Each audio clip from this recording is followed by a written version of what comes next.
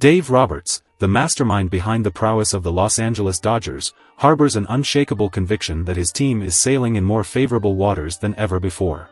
In a scenario of significant changes compared to previous years, the field strategist noticed an extraordinary transformation of mentality permeating the 2023 lineup, a predominant factor in the team's remarkable success. Hello Dodgers family. Welcome to our news channel. If you are new here, I invite you to subscribe to the channel and like the video, because this way you will be informed of everything that happens at the Dodgers.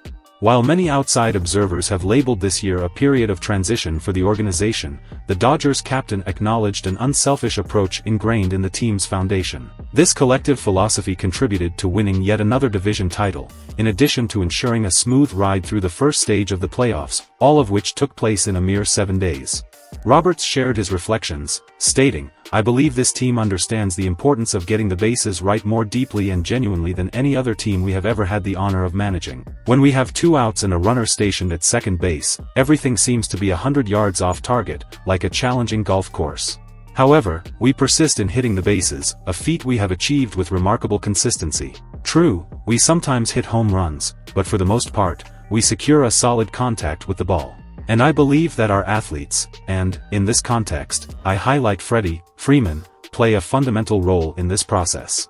When mentioning Freddie Freeman's invaluable contributions to this approach, it is crucial to note that the star first baseman's splendid season placed him among the league's top 10 players in terms of runs batted in, RBI. What's even more surprising is the fact that Freeman doesn't boast first or second place on his team in this regard, as Mookie Betts and JD Martinez have racked up an even higher number of RBIs in critical situations throughout the season. Martinez's impressive RBI numbers take on an almost magical aura, especially when considering that he has missed over 50 games due to injuries this season, but has still accumulated an impressive total of 96 RBI, including 51 in two-out situations, leading all baseball players in this crucial aspect. Mookie Betts, meanwhile, led the National League in wins above replacement, WAR, after a stupendous August, a performance worthy of consideration for the MVP award, with an incredible 46 RBI in two-out situations, just another aspect that crowns his remarkable season. The remarkable consistency demonstrated throughout the team's formation rubs off on everyone,